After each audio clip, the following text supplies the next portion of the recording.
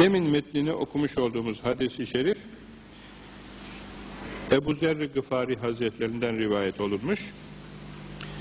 Efendimiz sallallahu aleyhi ve sellem Hazretleri buyuruyor ki bu Buhari'de, Ahmed İbni Hanbel'de tarihinde Buhari'nin e, İbni Hibban'da, Begavi'de hakimin müstedrekinde mevcut olan bir hadisi şerif. Buyuruyor ki Peygamber-i Zişanımız İnna Allaha Azze ve Celle. Hiç şüphe yok ki muhakkak ki aziz ve celil olan Allah yagfiru li abdihi kulunu mağfiret eder. Malem yakail hicab perdeye hicaba düşünceye kadar düşmediği müddetçe mağfiret eder. Kıyla soruldu denildi ki ve ma vuku el hicab kişinin perdeye hicaba düşmesi ne demek? Kale tahrucun nefsu ve hiye müşrike adamın canı çıkar nefsi vücudundan ayrılır müşrik olarak o zaman işte hicaba düşmüş olur perdeye düşmüş olur o zaman olmaz artık mağfiret imkanı kalkmış oluyor böyle olmadıkça müşrike olarak şirk koşmuş bir nefis olarak çıkmadıkça insanın canı, nefsi Allah kulu mağfiret eder. Yani mağfiret kapısı açıktır. Mağfiret ne demek? Günahları Allah'ın örtmesi, affetmesi. Aslında örtmek manasından geliyor. Gafara, yağfiru, örtmek. Neyi örtüyor Allah? Kusurlarını, günahlarını kulun örtüyor. Var, yapılmış ortada bir mevcut suç, kusur var ama örtüyor. Affediyor, göstermiyor. Yani af gibi, affetmek gibi örtmek, günahları örtmek, bağışlamak manasına geliyor. Onun için aynı kökten gelen bir kelime daha var. Miğfer. Miğfer askerin başına giydiği madeni başlık. Yani ok çarpmasın, kılıç kesmesin diye başına giydiği şey. E niye ona miğfer denmiş bu gafara kökünden, aynı kökten? O da başı örtüyor da ondan. Başı örtüyor, koruyor kılıç darbesinden efendim ve ok çarpmasından efendim balta vurmasından koruyor. Evet Allah mağfiret eder. Aziz ne demek? Celil ne demek?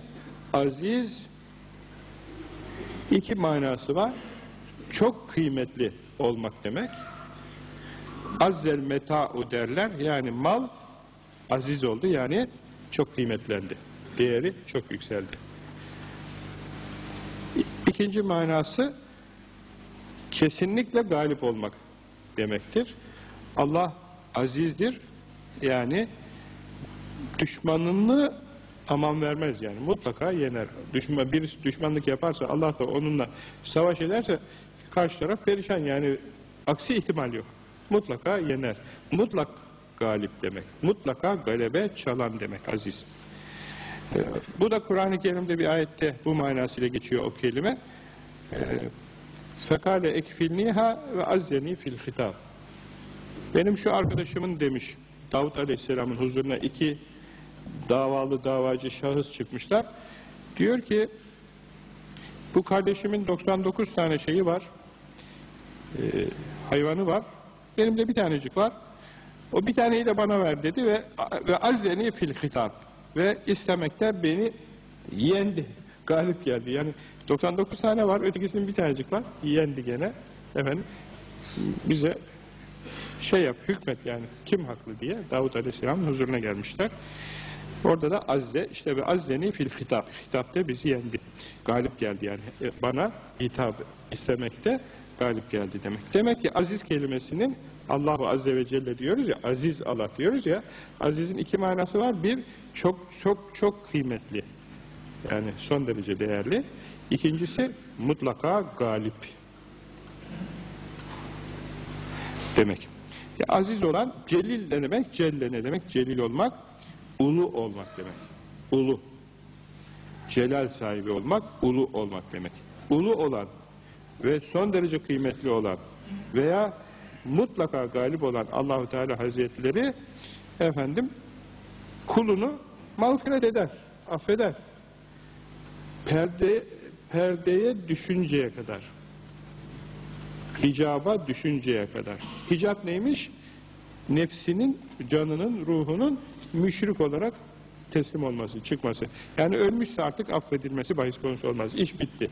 Ölmeden evvel son nefesinden önce efendim aklı e, bir de son nefesinden önce orada da bir ara devre var muhterem kardeşlerim. Biliyorsunuz insan bir sağlıklı afiyetli yaşıyor bir de ölmüş oluyor. Bu ikisinin arasında ne var?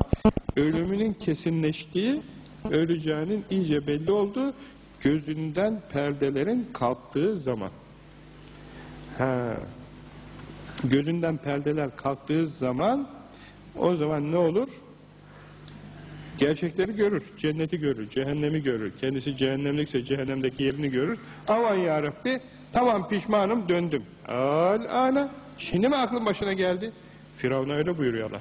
Al ana, tam boğulacağı sırada boğulması kesinleşince anladı kendisinin öleceğini.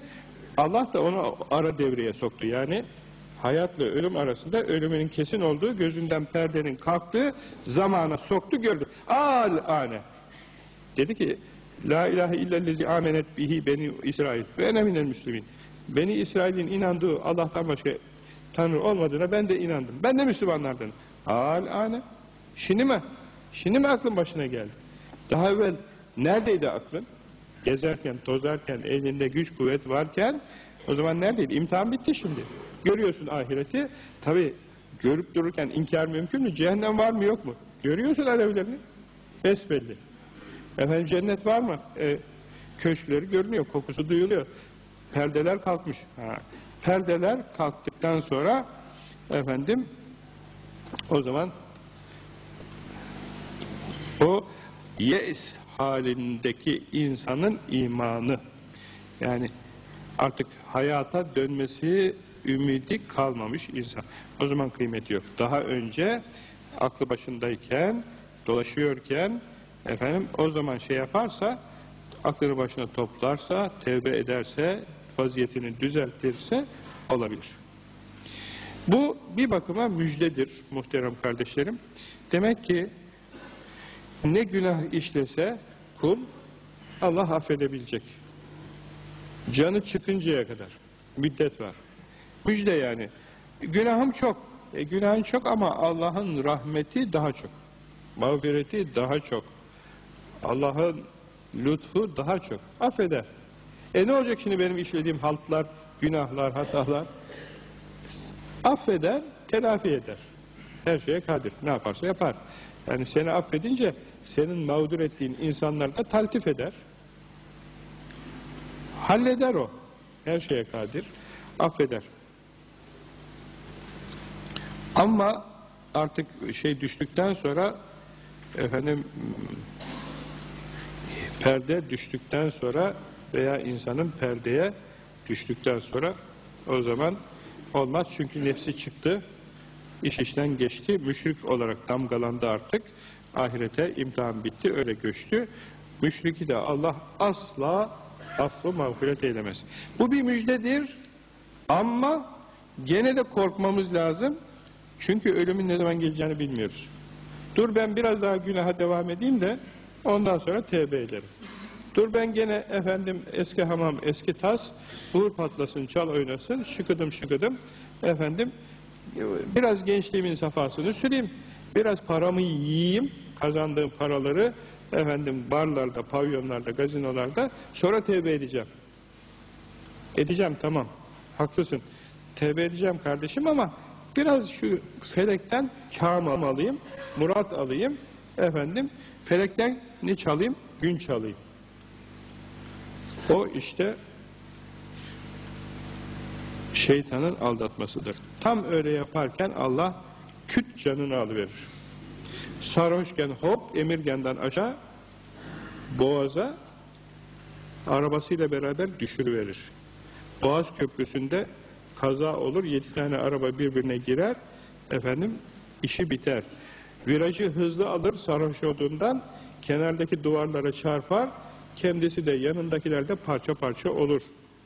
Arabayı güzelce yanaştırır, doğal gaz borusu patlar, efendim araba cayır cayır yanar, şoför cayır cayır yanar, efendim bir anda işte. Az önce yaşıyordu bu adam, şimdi ne oldu bu adam veya bu kadın? Bitti. Onun için muhterem kardeşlerim, tir tir titremek lazım. Birden ölüm geliverirse diye, efendim, ölüme hazır olmak lazım. Şu bizim yolumuz, tasavvuf yolu nedir? Tasavvuf yolu, ölüme hazırlıklı olma yoludur. Dervişler hazır asker. Allah der, efendim tevhid eder. Böyle bir ilahi var biliyorsunuz. Çok güzel bir sözdür o. Derviş hazır asker. Niye hazır? Ölüme hazır. Hadi öl. Hadi bakalım gel dendiği zaman dur biraz bekleyeyim demeyen insan. Hazır, abdesti var. Tevbesini yapmış. Efendim her şey tamam. İşte ondan önemli bu dervişlik yolu. Peki hocam yani daha bak 21 yaşındayım. Yani biraz sonra tevbe etsem, fakülte bitse filan, efendim biraz daha tevbe etsem olmaz mı? En büyük suçlardan, en büyük kusurlardan birisi nedir biliyor musunuz? Tulü emel. Emelin uzun olması. Ne demek bu böyle büyük suç, büyük gaflet, büyük efendim kötülük, insan için çok negatif bir puan. Ne demek bu tuğle emel? Tuğle, emel sahibi olmayacak insan. Ne demek?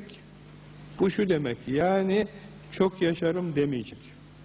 Çok uzayacağını sanmayacak.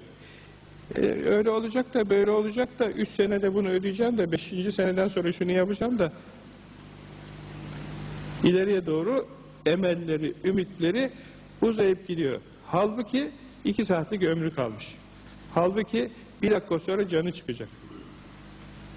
Tuğle emel en tehlikeli fikir ve duygudur. Çünkü nasıl olsa yaşayacağım diye tevbeden insanı geri bıraktırıyor. Raha, rahatlık ve rahavet veriyor. Tamam daha dur bakalım gencim. Gencim ölmem arzular kanımda bir çağlayan şırıl şırıl şırıl şırıl.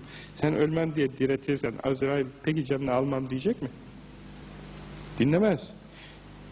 Fe iza ca'e eceluhum fela yestehirune saaten ve la yestakdimun. Eceli geldiği zaman kıpırdamaz, saniye geçmez, öne gelmez, sonra gitmez. Hadi biraz önce al canımı da az acı çekeyim. Olmaz. Hadi, hadi biraz tehir et de tevbe edeyim. O da olmaz. Orada olacak. O anda iş bitecek. Onun için tuğle emel çok kötü bir duygudur. Büyükler bunu kitaplara yazmışlar. Ayrı bölüm açmışlar. Bab açmışlar.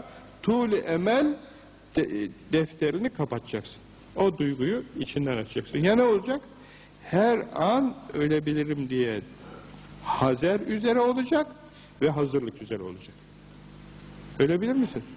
Ölmem daha. Hiç öleceğimi düşünmüyorum. Varsa bir tane baba yiğit er, er kişi çıksın şu ortaya ben biraz sonra öleceğim gibi bir duygu geliyor desin. Hepimiz yaşayacağımızı ümit ediyoruz. Daha dur bakalım bugün pazar, yarın pazartesi memuriyete gideceğim, dükkanı açacağım. Ondan sonra şu olacak, bu olacak. Ramazan'a çıkacağız. İnşallah bayrama hazırlık yapalım. İşte yaz gelince bahçeye şunu yaptıracağım, yazlık yaptıracağım. Hiç kimse biraz sonra öleceğini düşünmüyor. Demek ki tuğle emeli hiçbirimiz öğrenmemişiz muhterem kardeşim.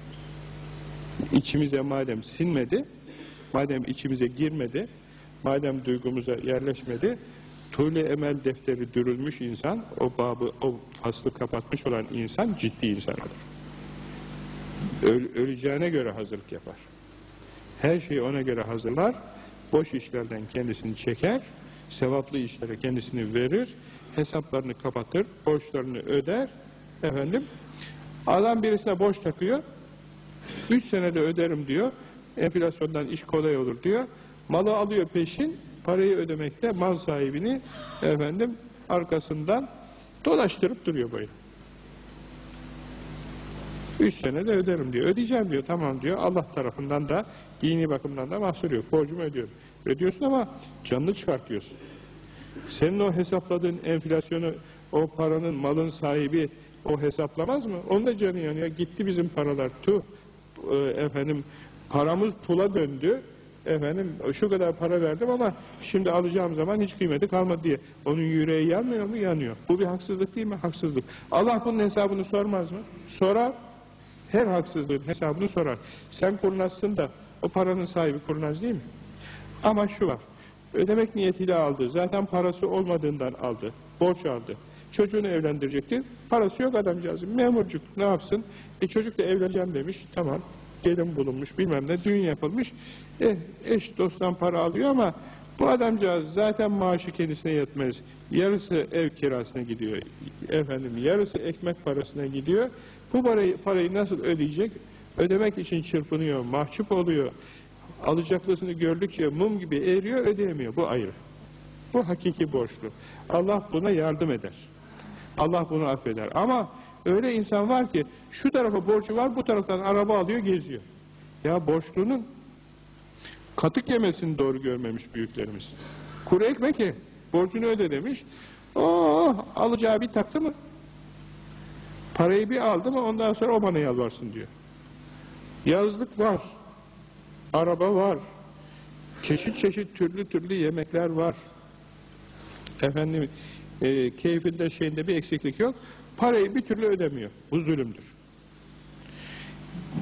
Bunun zulüm olması, zenginin fakiri kapısında bekletip parasını geç vermesi zulümdür diyor Peygamber Efendimiz. Kapıya gelmiş fakir, tak tak tak kapıyı çaldı. Allah rızası için muhtacım bir sadaka. Hayır, zekat. Muhtacım. Bekle orada. Üç saat, beş saat, bir dakika, iki dakika, üç dakika, yedi dakika, yarım saat neyse. Bekletmesi kapısında bekletmesi zulümdür diyor sahih hadiste Peygamber Efendimiz. Ya bu fakir istersen veririm, istemezsem vermem.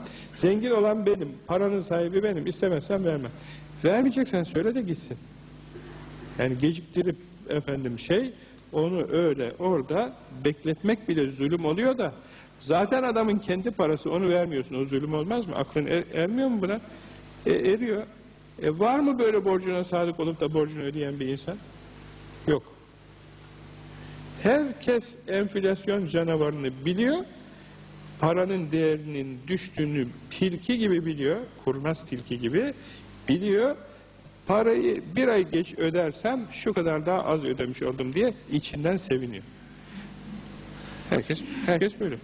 Öyle değil mi? O zaman zulüm oluyor. Evet. Tuli emel yok. Tasavvufta yok. Ne, ne var? Ölüme hazırlıklılık var. Hesabını bitirmiş olmak. Daima efendim ruhunu teslim edecek bir rahatlık içinde olmak var. Dervişlik bu. Dervişliği kimisi sarık sanıyor, kimisi cübbe sanıyor, kimisi tesbih sanıyor, kimisi efendim şu kadar zikir, bu kadar zikir sanıyor. Asıl dervişlik, dervişliğin ahlak kısmı. Bu zikirler o ahlaka ulaşmak için alet kısmı. Bunlar alet, ötekiler sonuç.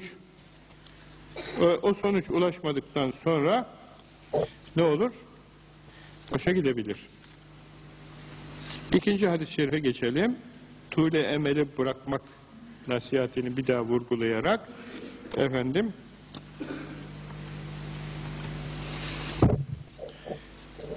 ölüme hazırlıklı olarak Allah'ın rahmetinden, mağfiretinden de ümidi kesmeyerek. Bazen de iyi insanlar oluyor. Mesela bir şehire gittim, birisi benden özel bir konuşma istedi. Hocam dedi, özel konuşacağım. Peki gel kızım konuş. Genç bir kızcağız. Efendim, dedi ki hocam, çok utanıyorum diyor. Kızarıyor, bozarıyor, renkten renge giriyor böyle. Ben diyor çok suçlu, çok günahkar bir kulum, çok suçlu, çok günahkar bir kulum. Allah beni affeder mi, mağfiret eder mi? Yani Müsaade olsa canına kıyacak. O kadar o kadar utanmış, o kadar pişman. Eh, kimse Allah'ın rahmetinden ümit kesmesin. Neden?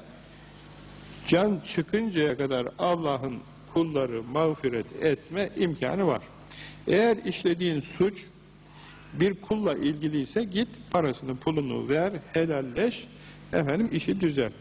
Eğer sırf senin ibadetlerinle, taatlerinle, seninle Rabbin arasında ibadetinle ilgili bir şeyse Allah'tan affu mağfiret dile.